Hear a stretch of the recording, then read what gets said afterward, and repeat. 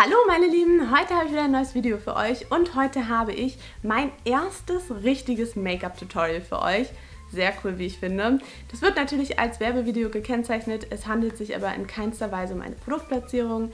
Ihr dürftet das Spiel mittlerweile kennen, ich werde es aber auch nochmal in den DM-Neuheiten erklären, das schauen immer die meisten dieses Video. Ich habe euch meinen Alltagslook geschminkt und zwar diesen hier, den trage ich wirklich fast nur. Außerdem ist der nur mit Drogerieprodukten geschminkt, also alles bis auf die Pinsel. Dann möchte ich euch noch kurz sagen, dass ich mich geschminkt wirklich sehr, sehr, sehr, sehr viel wohler fühle. Deshalb schminke ich mich auch meistens ziemlich stark, finde ich. Und ich möchte auch noch kurz dazu sagen, ich bin natürlich keine Make-up-Artistin. So, für euch gibt es wieder eine Überraschung in dem Video.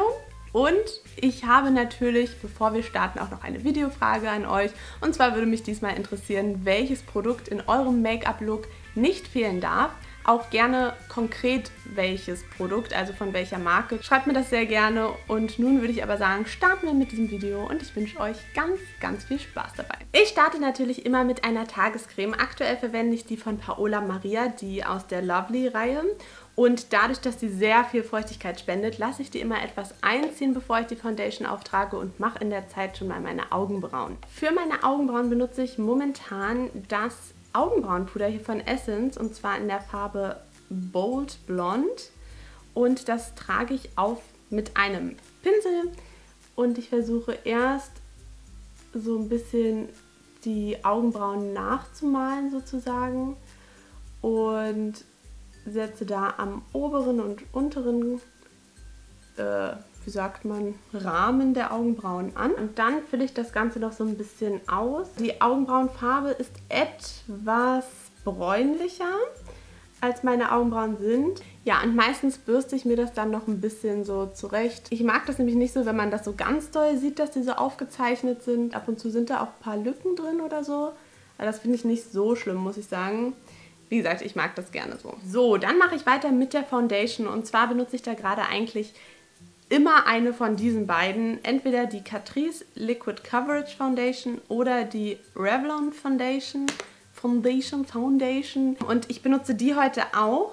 Die ist zwar etwas zu dunkel für meinen ähm, Hautton, aber die von Catrice ist auch fast leer und ich finde, die hält noch einen Ticken länger, beziehungsweise verrutscht sie bei mir nicht so doll. Ich trage die auch zuerst auf meinem Handrücken auf, gehe damit dann ins Gesicht.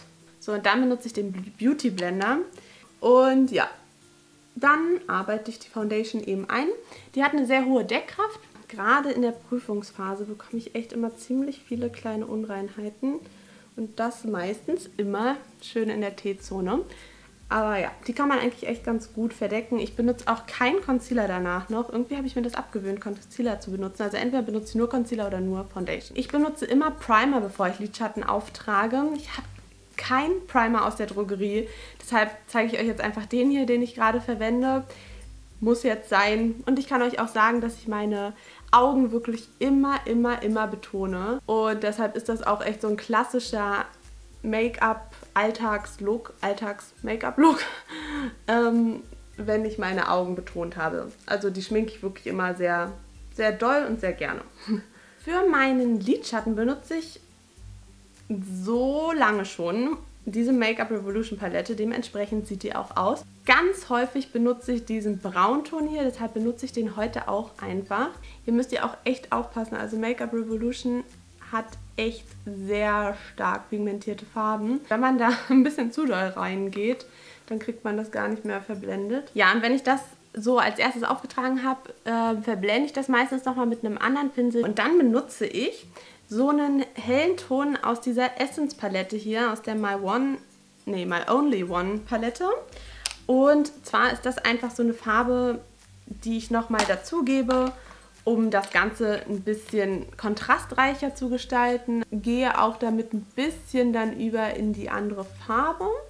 Das wird auch alles gleich nochmal verblendet. Also jetzt trage ich das erstmal ganz ja, unvorsichtig aus sozusagen. Ich finde tatsächlich auch, dass die Essence Palette sehr gut pigmentiert ist. Wenn ich das jetzt soweit gemacht habe, wie gesagt, verblende ich das nochmal, dass das alles ineinander übergeht mit einem anderen Pinsel.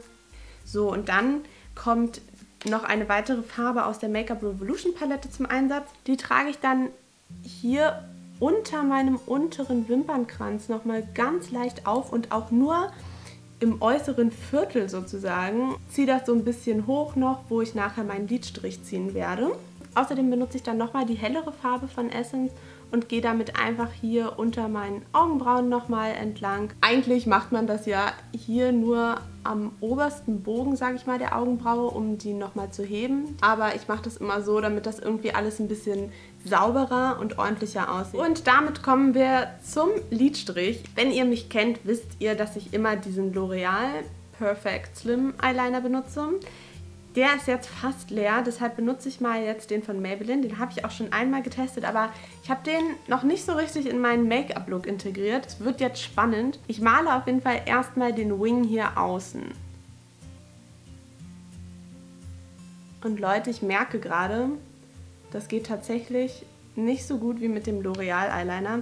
Deshalb werde ich das jetzt doch nochmal ändern und nochmal den dafür nehmen.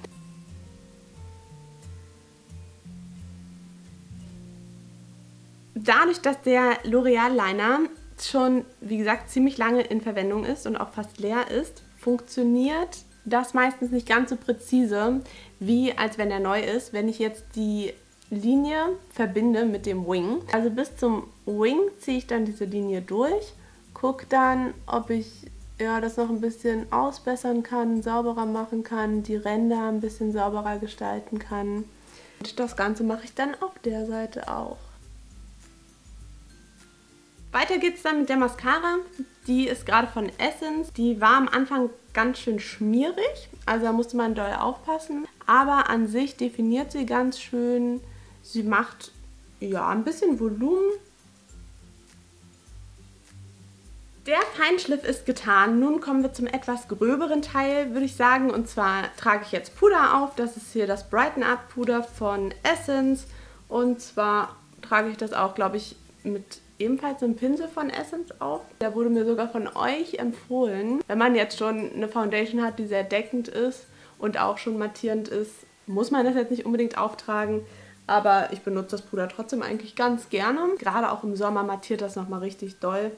Bronzer darf natürlich auch nicht fehlen. Also ich benutze nur Bronzer tatsächlich und keinen Blush. Da benutze ich auch schon sehr, sehr lange jetzt diese Contouring-Palette von Essence. Den Pinsel hier habe ich aus einer Limited Edition von P2 ich muss sagen, Bronzer ist so ein Ding. Also, ich verschätze mich da leicht und muss das dann oft mit Puder nochmal auskorrigieren. Für den Highlighter benutze ich eine Kombination. Einmal benutze ich hier aus der Glow to Go Palette von Essence diesen zweiten Farbton hier. Also den sieht man auch nicht so doll. Da muss man nicht Angst haben, dass man sich da doll irgendwie verhighlightet, wenn man das so sagen kann. Ja, wie gesagt, den kombiniere ich den Ton mit diesem ersten Ton hier von Makeup Revolution. Den gebe ich mir nochmal ganz zart hier vorne auf meine Wangenknochen. Als Lippenstift benutze ich tatsächlich gerade nur Produkte von Essence. Generell benutze ich sehr viele Produkte von Essence, fällt mir gerade auf. Das ist die Farbe 01 Rose Mood. Ihr seht, ich trage den auf dem ganzen, auf den ganzen Lippen auf. Das mache ich meistens nur, weil der sehr gut hält und schön matt wird. Und darüber gebe ich dann nochmal so einen anderen Lippenstift. Und das ist der Lippenstift 10, auch von Essence.